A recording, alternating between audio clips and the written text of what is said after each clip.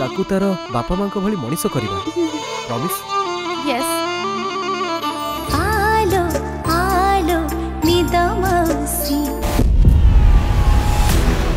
ଯାହାକୁ ଦେଖିଛ ସେ ମୋ ପିଅନ୍ସି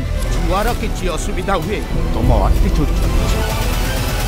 ଆଜି ସନ୍ଧ୍ୟା ଛଅଟା ତିରିଶ ମୋ ମମି ବାପାଙ୍କ ବାହାଘର କେବଳ ତରଙ୍ଗରେ